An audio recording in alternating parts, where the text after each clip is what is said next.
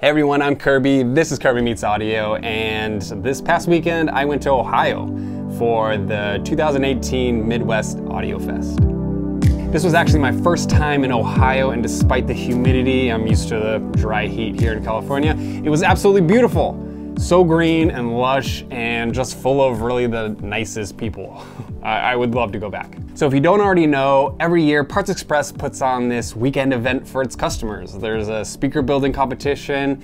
Uh, some competitors even fly in from all over the country and some years even all over the world. There's a huge tent sale, free food, and this year they had me as well as Nick from the YouTube channel 123Toid there to meet you guys and show off some of our skills. We started our Friday off with a tour of the Parts Express headquarters. We talked about the history of the company, uh, speaker design, few upcoming secret products, and what it takes to get all your guys' orders out on the same day you place them. Of course, Dayton Audio is a big part of the Parts Express ecosystem. Almost every Dayton Audio product is designed by the team there in Ohio. One of my favorite things that Dayton Audio does is provide us, DIY builders, with FRD and ZMA files for every one of their drivers. These files make it really easy for someone without any measurement equipment to use free software to help design enclosures and crossovers. Dayton has a whole room dedicated to testing their drivers and getting those measurements for you. They use an infinite baffle setup, basically placing the driver between two rooms to get their measurements. The ceiling and walls of the room where the mic takes the measurements is covered in acoustic foam to cut down on reflections that can ultimately ruin those measurements. In the adjacent room, the drivers are mounted to a pretty smart jig system that makes swapping drivers really easy. This whole setup gave me lots of ideas for setting up my own driver testing station in the new studio I'm building. I was really impressed with their product organization and order pulling system. Shipping out 2,500 products the same day as they're ordered is no easy task, and the team here have it down to a science. I guess that's what 32 years of refinement gets you. So there are levels to speaker building, and if you thought I was even close to the top of that game, you are very much mistaken.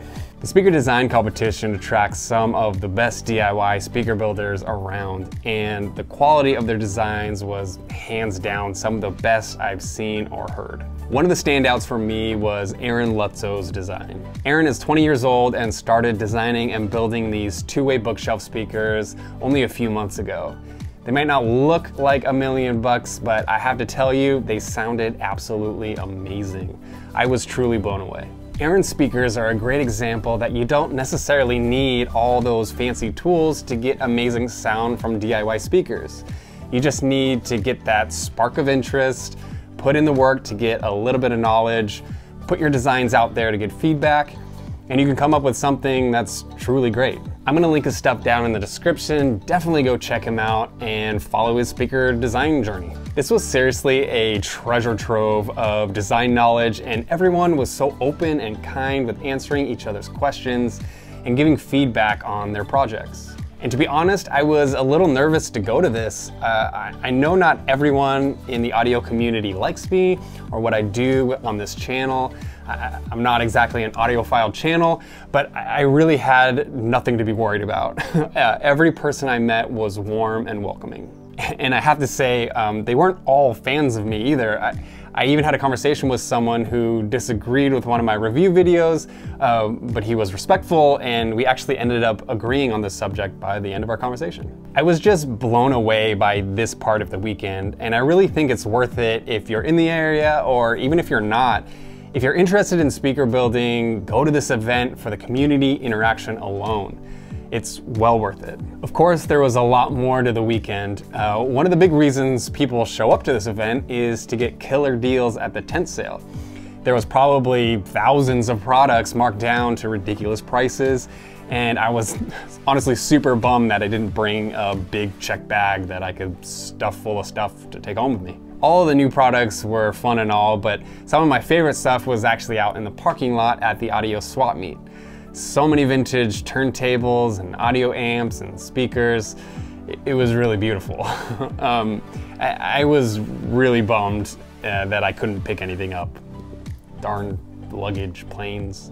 Ohio, you're so far away. I also did a little demonstration of how to build one of my ammo can speakers, though it didn't go over all that smoothly. Unfortunately, the tools that were available weren't able to cut through the metal of the ammo can, and the project ended up being delayed until I could get the right tools. This wasn't much fun in the moment, but it demonstrated perfectly that things often don't go as planned, and rolling with the punches is a big part of any DIY project.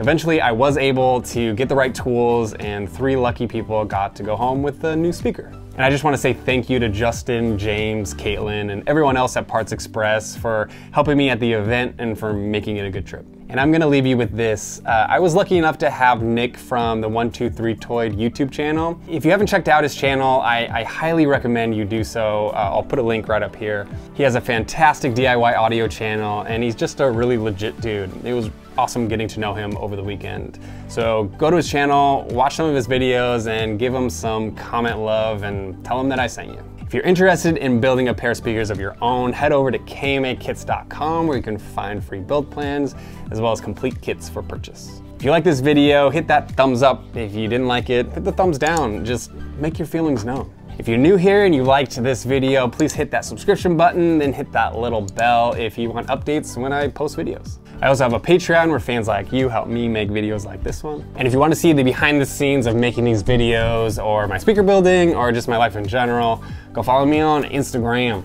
Uh, just search Kirby Meets Audio or there's a link down in the description. All right, thanks for watching this video. Um, I appreciate you guys. Honestly, Ohio was cool.